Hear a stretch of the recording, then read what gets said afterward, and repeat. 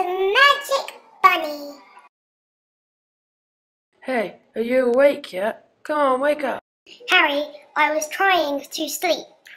Do you want to practice some magic or do something? Okay, fine, I'll get your wand. But don't get us in trouble like last time, because I didn't do anything, I got the blade.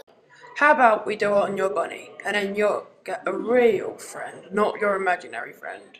Alakazam!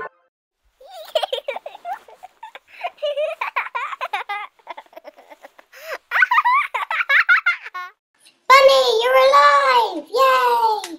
Am I allowed to ride on your back? Yes, you are, my dear. Let's go! This is so much fun, Bunny. How about we have a race? Around the wheel twice. Ready, set, go! I'm gonna beat you, Bunny! Ah, snake! Harry, are you okay? Go play with Bunny for a minute.